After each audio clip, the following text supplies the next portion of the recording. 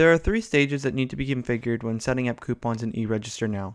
The first is coupon options, the second is the list of applicable events that will be able to use the coupon, and the third is what triggers the coupon. Starting off with coupon options. In coupon options you have a series of selections to make, including the type of coupon, either a regular coupon or a tax exemption coupon. The name of the coupon, the coupon's unique code, if the coupon is enabled, a comment or explanation about the coupon, and the value of the coupon. There are three different options for coupon value absolute dollar amount, percentage discount, and absolute price override. Absolute dollar amount is used to decrease or increase an event price by a specific dollar amount when the coupon is triggered. For example, if you enter $30, it will reduce the price of the event by $30, or if you enter negative $30, it will increase the event price by $30 when the coupon is triggered.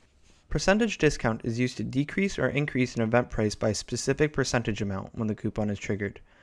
For example, if you enter 50%, it will reduce the price of the event by 50%, or if you enter negative 50%, it will increase the event price by 50% when the coupon is triggered. Absolute price override is used to set the price to an exact price. For example, if you enter $30, the overall total price will be $30 when the coupon is triggered.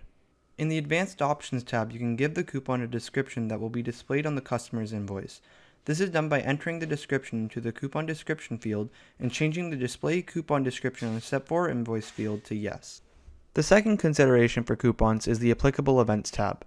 The purpose of the applicable events tab is to be able to select specific events from all of your events for which the coupon may be triggered.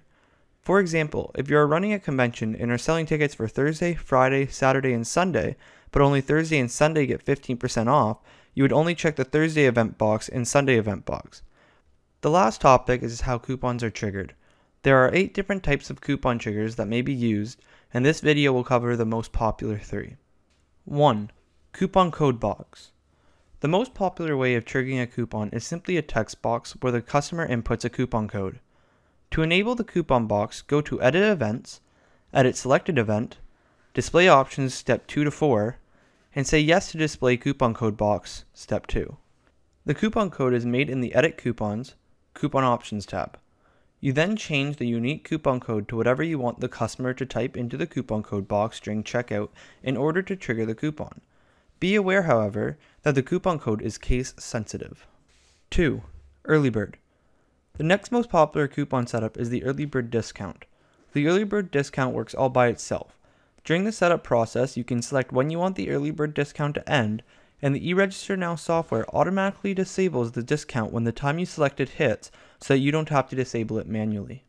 In order to set up an early bird discount, go to Edit Events, Edit Selected Event, Event Pricing Advanced, and check the early registration discount box.